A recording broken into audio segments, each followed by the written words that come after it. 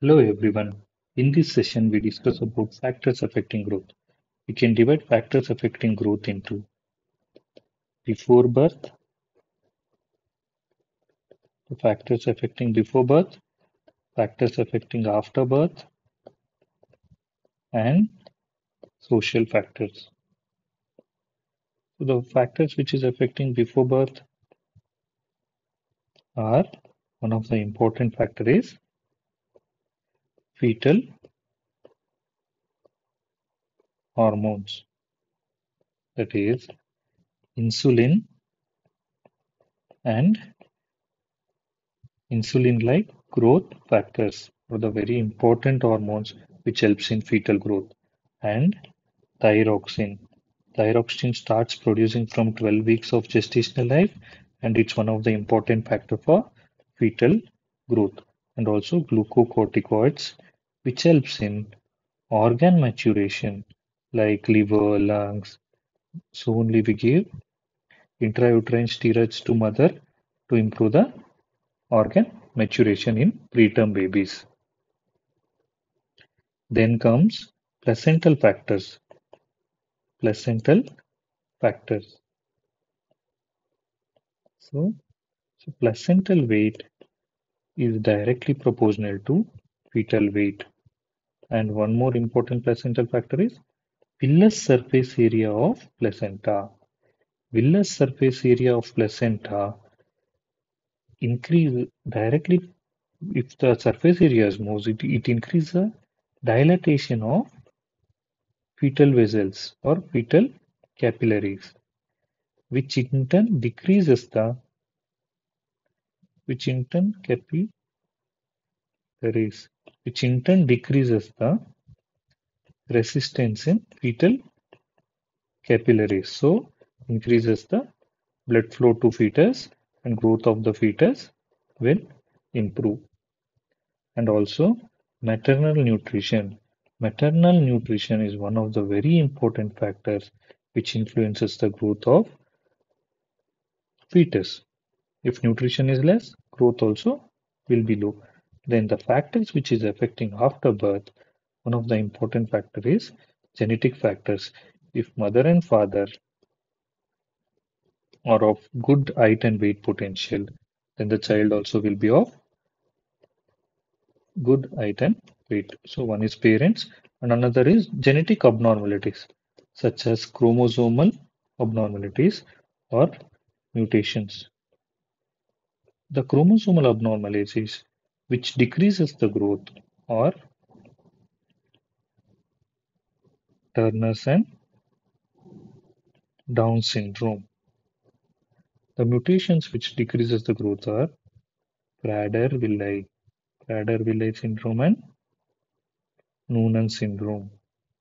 Not only all chromosomal abnormalities or all mutations decreases the growth, but few can increase the growth also, like Klinefelter syndrome, Klinefelter syndrome, and in uh, mutation Sotos syndrome. Sotos syndrome.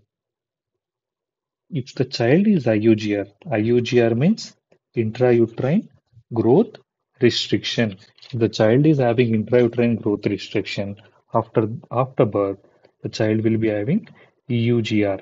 EUGR means extrauterine growth restriction. Then hormones also influences the growth after birth. The hormones like growth hormone and thyroxine. Remember one thing, growth hormone is never a hormone for fetal growth. So in fetal growth, growth hormone is never a hormone for fetal growth. This is one of the important MCQ question. But after birth, growth hormone is very much important for growth of the child. And during puberty, gonadotropins act as a growth hormone, so which helps in growth spurt. So during puberty, gonadotropins acts as growth hormone, which helps in growth spurt. Before that, growth hormone and thyroxines are the important growth hormone after birth. Then if nutrition is good, good nutrition directly proportional to good growth of the child. Then If infections are there in the child, it decreases the growth of the child. So it is inversely proportional to growth. So infections are inversely proportional, nutrition is directly proportional to growth. And few of the social factors also plays major role in growth of the child, such as if poverty, climate, emotional factors. It is noted that broken family children will be short and there will be growth delay in them. And education, especially education of the mother is very important for the growth of the child. And also cultural factors also influences the growth of the child. Now, after this, we go for principles, which is very much important. Principles of growth. Principles of growth. The important is growth is continuous and orderly process. It's like the growth will be occurring, but the rate might vary, but the growth will be occurring continuously. Suppose during fetus, the first of the first half of the fetus, the growth is more. Then later the growth will is there, but compared to this, it is decreased. Then even in afterbirth also, during first two, two to three years, the growth is more. Afterwards, the growth is there, then decreases. Later during puberty, later during puberty, growth spurt again occurs and growth will increase. So growth is continuous and orderly process. It goes in an order, but it is continuous. Though rate might vary, but it's a continuous process. Growth pattern. Growth pattern of every individual is unique. Means the growth pattern is same for you, me, the person next to you, the person whom you are thinking of. For everyone, the growth pattern is same. Every individual is unique. Means it occurs in same wise. Is unique. Means it's same for everyone. So it is cephalocaudal and distal to proximal. It is cephalocaudal and distal to proximal. For example, first in utero, it grows first, then the neck grows, and arms grows first, then the legs. That is cephalocaudal means from head to the tail. Tail is nothing but legs. We tell it as sacrum as tail, but tail is nothing legs, cephalocaudal and distal to proximal. Hands increase in size before arms. So growth is of every individual is unique, that is cephalocaudal and distal to proximal. So growth indicates the well-being of the child. Growth indicates the well-being and health of the child and health of the child. Then this is one of the important this thing principle different tissues grows at different rates.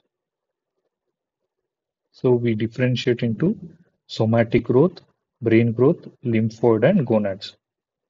Somatic growth. Usually somatic growth is very much in first two to three years of life. So first two to three years, the growth is too much. Then there is a it's very much the somatic growth is more in first to two years, two to three years of life. Later the growth will be there, but it is not so steep. The growth will be like almost plateauing, but it is increasing. Then during growth spurt, there is second, this is during first two to three years, there is growth. Then till puberty, there is marginal increase in growth. Later, due to growth spurt, there is again during puberty, there is somatic growth. So this is how growth of somatic organs occur. So brain growth, brain growth is very unique. Around two to around two years, almost 85 to 90 percent of the brain growth has occurred by two years. So it's very important to take care of the child without infections until two years of age. So after that, it's almost marginal growth occurs. So it becomes plateaued later. So by two years around it is 85 to 90 percent of the brain growth has occurred by two years. Then there comes a one more peculiar organ that is lymphoid. Lymphoid organ, it grows up till four years, but it peaks its growth around four to eight years. It peaks around four to eight years. Then again the lymphoid growth will slow down and it will become plateaued. So four to eight years is the age of lymphoid growth. Then gonadal growth. Gonadal growth. So from birth till puberty, it will be growing in almost plateau way. Then suddenly in puberty, the gonadal organs will grow and reach the adult gonads. Okay, this is how the growth pattern of different tissues grows differently. That is somatic. Usually first two years, three years it will grow. Then again there is no not much steep. It will go parallelly and with little amount of growth. Then it around again peaks during puberty. Brain first two years it grows rapidly. Then almost it plateaus around and reach the adult 100%. Then lymphoid growth 4 to 8 years is the age of lymphoid growth. Then gonads will grow very much during puberty.